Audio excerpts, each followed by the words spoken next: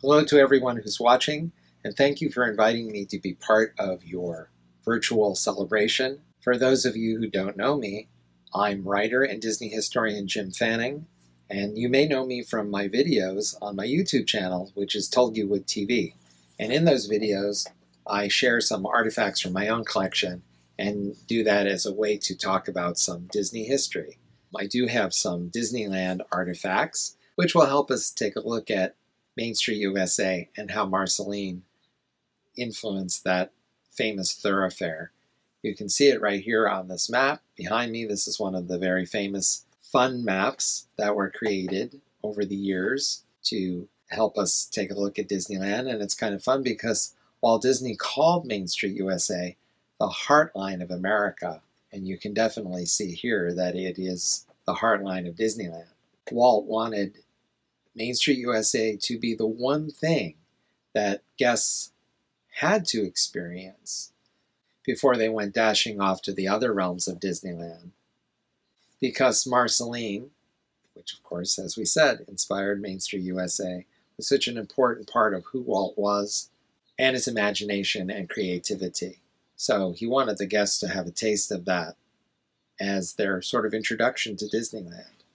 Now, what I have here in my hand is an issue of the Disney World magazine. This issue is from late 1968. This magazine would become Disney News, so you may know it better uh, by that title, but at any rate, uh, here we have the famous Walt Disney stamp on the cover. This first class United States postage stamp honored Walt Disney who had, of course, died in 1966.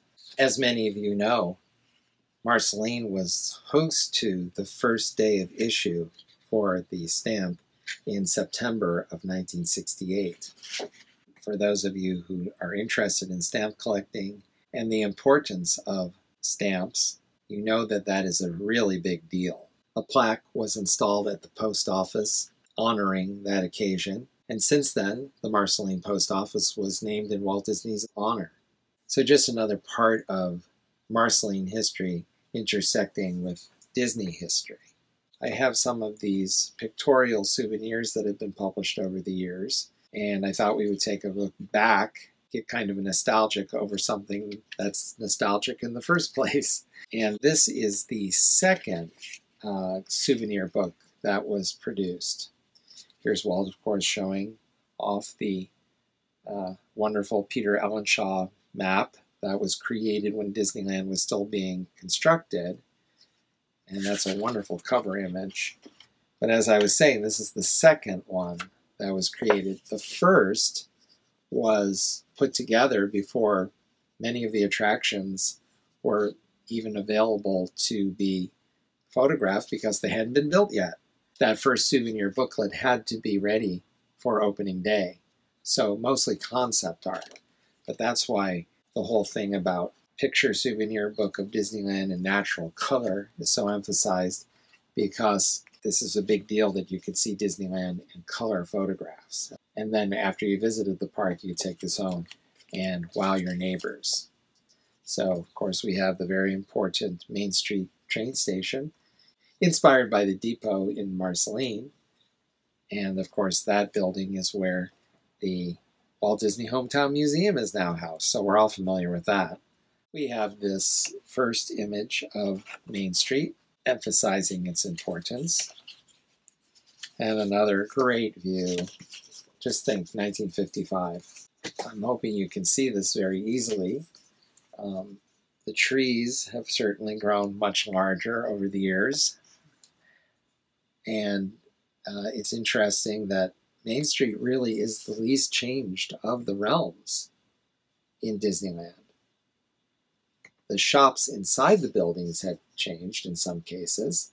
There's no longer the old fashioned pharmacy with the leeches that you could visit if you were ready for some bloodletting, but the buildings themselves have not changed that much.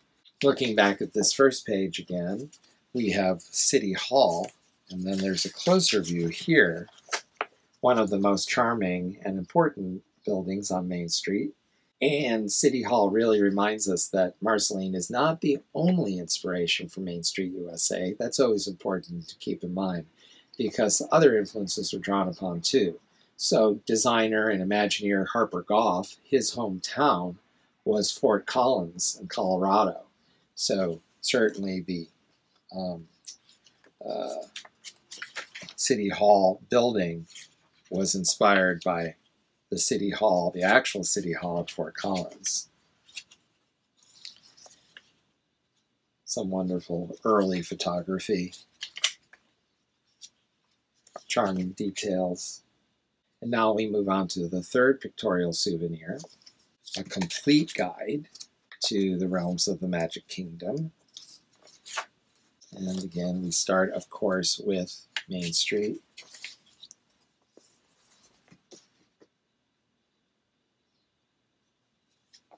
Here's an example of a new format that was uh, first published in 1960. This was actually bought in 1961. And you know who's on the cover, and it's now Walt Disney's Guide to Disneyland. And this was important because this format, more or less, was used for many years afterwards because the idea was is that Walt Disney himself was going to introduce you to the realms of Disneyland, including Main Street USA. So here we have a welcome from Walt Disney. And then for each of the realms, we have a photograph of Walt Disney sort of experiencing one of the attractions or some aspect. Here, of course, he is on his beloved train, the Disneyland Railroad. And again, beautiful photography. One of the shops that unfortunately is no longer there, but was there for decades, is the candle shop. And here you can see there are candles on sale. And candle making using wax, of course, was demonstrated. So wouldn't that have been fun to experience? Some of you may remember visiting there. I believe it was there through the 70s. But again, all kinds of wonderful photography. Here we have a wonderful glimpse of the ice cream parlor. Uh, it's still there, uh, in other words, an ice cream shop, but they took out the beautiful, intricate uh, woodwork and the ice cream bar where you could sit at, at the counter and have a sundae and sit at these beautiful little tables. Unfortunately, that's gone, and that is too bad because that was a real throwback, wasn't it, uh, to another earlier era. And for this new format, Walt Disney's words introduce you to each realm. Here are his thoughts and insights into Main Street USA. Now, sometimes, of course, people will point out, well, Walt had never actually said this. And that's true, but he definitely had input into this. Whoever wrote it, it might have been Marty Sklar. But whoever actually wrote it, it was definitely approved by Walt. There's no question about that.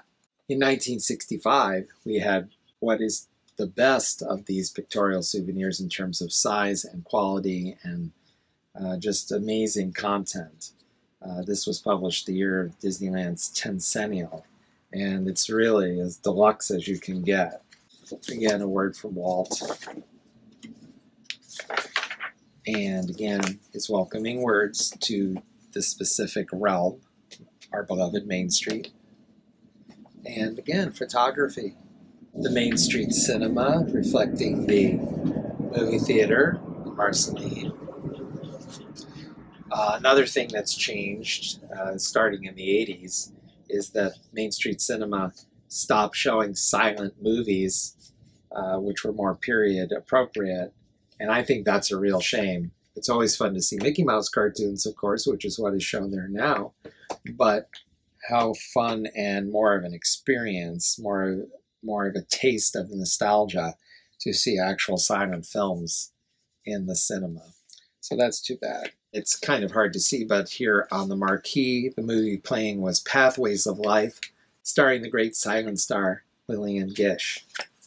The design of this pictorial souvenir album is really incredible because the, the conceit is that these are all old-fashioned frames with uh, the photos in them.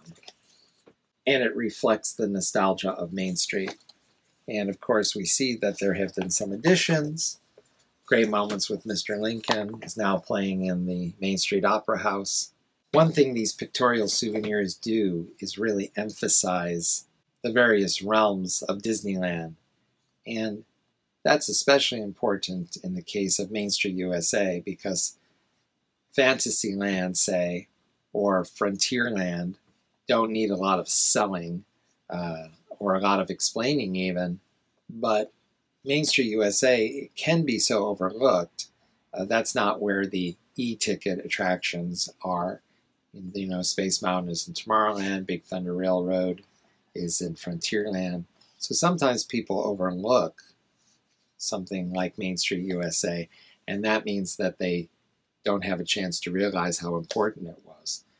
Walt Disney, of course, moved to Marceline with his family, obviously, when he was five in 1906.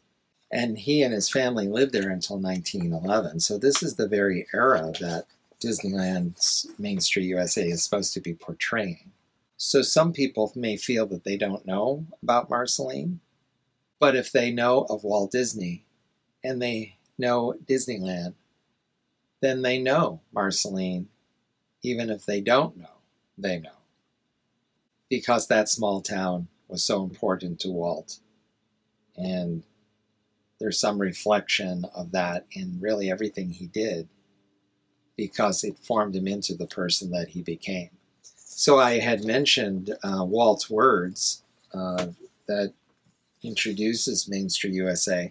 So I'd like to take just a minute and read a few of them Many of us fondly remember our small hometown and its friendly way of life at the turn of the century. To me, this era represents an important part of our nation's heritage. On Main Street, USA, we have endeavored to recapture those bygone years. Here is America in 1890 through 1910, at the crossroads of an era. Here the gas lamp is giving way to the electric lamp and a newcomer, the sputtering horseless carriage, has challenged old Dobbin to the streetcar right of way. America was in transition. The discoveries of the late 19th century were changing our way of life. When you visit the ice cream parlor, the market house, and cinema where silent films play, we hope you will visualize, as I often do, your own hometown Main Street, or the one your parents and grandparents have told you about Main Street is everyone's hometown, the heartline of America.